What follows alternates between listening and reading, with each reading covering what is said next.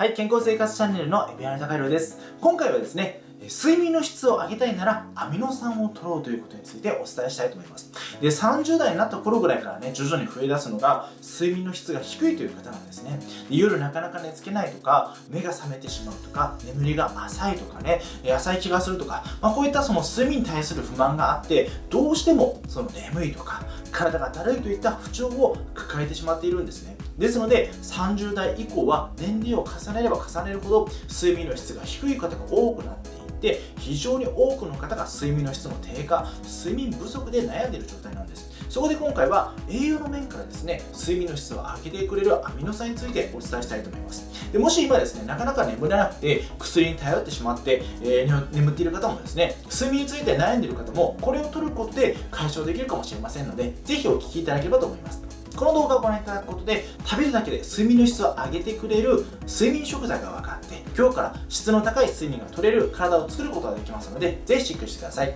この健康生活チャンネルでは健康美容ダイエットにとても効果的な食事や生活習慣の情報を毎日お伝えしていますのでお見逃しがないのでぜひまずチャンネル登録をお願いします。また多くの方にこういった健康情報が伝わりますので高評価のご協力もお願いします。ということで睡眠の質を上げたいのであればアミノ酸を取ろうということについてお伝えしたいと思います。で、あなたは十分な睡眠が取れていなくて、えー、お悩みではないでしょうかでもしそのお悩みがあればですね、そのお悩みはあなただけではなくて、実は他の多くの方も抱えている問題なんですね。で、実際ですね、私の生体院でも睡眠時間をお聞きするんですけども、十分に眠れていなかったりとか、睡眠導入剤など、えー、眠剤を服用されている方も非常に多いんですよ。まあ、睡眠のね、その低い方って、やっぱりとても多いんですよね。まあ、例えばね、その寝つきが悪いとか、その夜中ね、目が覚めてしまうとか、えー、朝早く目が覚めてしまうとかね、その眠った感じがしないとか、まあ結構ね、いろんな睡眠不足の方いらっしゃるんですよね。で、この睡眠の質が低いととても大変なんですよね。やっぱりその日中眠いのももちろん大変じゃないですか。仕事もやっぱり集中できないですし、あとはその体のだるさが出ちゃうとね、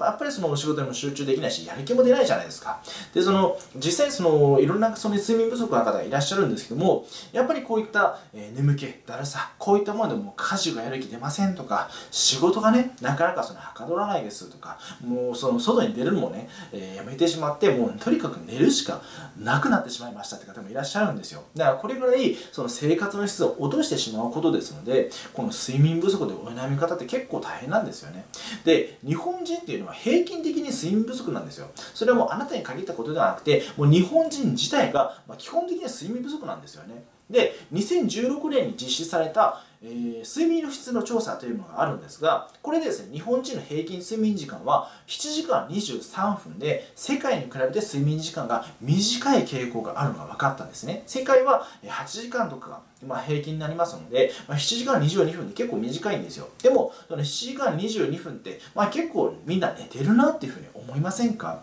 ?7 時間22分って、え、長い方じゃないのって思う方多いと思うんですよ。私の方がね、もっと眠れてないよって方が多いと思うんです。そうなんですね。実は現在はですね、日本人の睡眠時間って大幅に減ってしまっているんですね。これはもう一昔前のことで、7時間22分というのはね、もう今もっともっと少ないんですよ。で、2019年2月にも約1万人を対象として睡眠の質についての調査が行われたんですが、この時点での日本人の平均睡眠時間はなんと6時間27分だったんですね。で、3年間の間に前回よりも55分も短くなっていたんです。ですから、みんなね、あんまり寝れてないんですよ。まさすがに6時間半だと、ちょっと短いなって感覚はありますよね。でもそう聞くとですね、じゃあみんな睡眠不足なんだから、別に私もね、まあそんぐらい仕方ないのかなとか、別にいいでしょうって考えてる方いないでしょうか？その考え方ってとても危険なんですね。なぜなら別の研究ではですね、睡眠時間が例えば6時間の場合、まあ、結構短いですね、6時間でね。6時間の場合、それを10年間継続すると死亡率がですね、1.3倍にまで開くという結果が報告されているんですよね。怖いじゃないですか。その6時間睡眠の方って結構多いんですよ。中には5時間睡眠の方とかもいらっしゃいますので、この6時間睡眠の方って結構多いはずなんですよね。でもそんなの10年間継続するだけで死亡率が1.3倍になりますので、あなたは1.3倍なくなる可能性が強くなっちゃうんですよ。これって本当に怖いことですよね。ですから、睡眠の質っていうのはとても重要で、できるだけ早く改善することが必要不可欠なことなんです。じゃあですね、一日も早く眠れるようになりたいと思った方、ご安心ください。今回はそののために睡眠の質を上げてくれる栄養素と食材をご紹介しますので、まあ、これを取れるように頑張っていただくだけで睡眠の質を改善できますのでそしてよく眠れる体を作ることができるようになりますのでぜひご覧くださいで、今回ご紹介するのはアミノ酸というものなんですが、アミノ酸っていうのはですね、タンパク質があるじゃないですか。タンパク質があるんですが、タンパク質って結構大きなその分子で、これを細かくしていったものが、えー、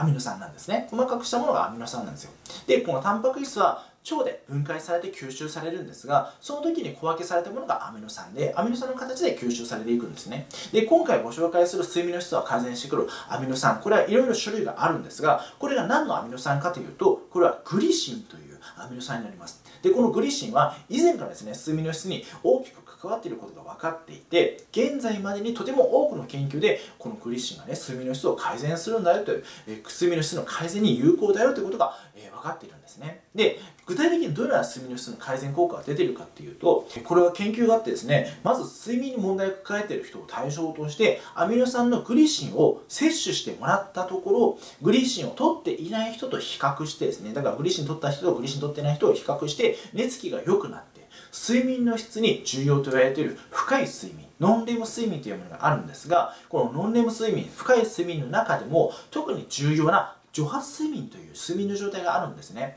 で、これがその除発睡眠が多いほど、その疲労回復とか、まあその睡眠の質がいいということになるんですが、この除発睡眠の時間が多くなった、長くなったことが分かったんです。で、しかもこの除発睡眠がたくさん取れていることで、夜中に目を覚ましてしまうということや、朝早くに目が覚めてしまって眠れなくなる、眠れなくなるということが減って、そしてよく眠ったなっていう感覚が得られることが分かったんですよ。だからこの除発睡眠ってとても大事なんですよね。だからこの除発睡眠が多ければ多いほど夜中ねその目が覚めて眠れないっていうことがなくなったりとかですね朝早くもう5時とかに、ね、目が覚めてしまってもうそれで眠れなくて、ね、眠いっていうこともなくなりますしそして朝起きた時にねもう快適な朝を迎えられますのでこれってすごい素晴らしいことですよね。だからこの、えー、除発睡眠が大事でそのためにグリシンがとても有効だということが分かったんです。でなんでですねこんなにもそのグリシンがグリシンというアミノ酸が睡眠の質を上げる上げてくれるからなんですがこれには体の体温が関係してるんですね。で実は人の睡眠の質と深部体温と呼ばれる体の中心部分の体温温度にはとても密接な関係があるんです。で人が眠っている時の深部体温は起きている時ほど起きている時よりもかなり低くて眠っている時はね。でまた眠っている時に深部体温が低いといい睡眠になるんですよ。だから体温が低ければ低いほどいい睡眠になるんですね。ですから眠っている時にはこの深部体温が低い状態というのがとても重要なんです、まあ、ただこの起きているその眠る時ですね。眠る時には体温が高いほど眠りやすいんですよ。でも眠ってしまったら体温が低いほどいい睡眠になるんですよね。だからここはちょっと難しいところなんですけどこの体がね調整できることはとても大事なんですね。ですから寝る時にはねそのグリシンがその体温をね発散してくれて深部体温を落とすことでいい睡眠にしてくれますのでだからこう寝る時にはね体温調整がしやすいように手袋とか靴下とかつけないようにしましょうというふうに言われているんです。あなたはつけていないですか？手袋とか、えー、靴下とかね。なかなか冷え性の方とかそのこういうのつけがちなんですがこうすると睡眠の質って下がっちゃうんですよね。まあなかなかねその寒くて寝れないという方もいらっしゃると思うので難しいところだと思うんですが、まあ、実際そうなんですよ。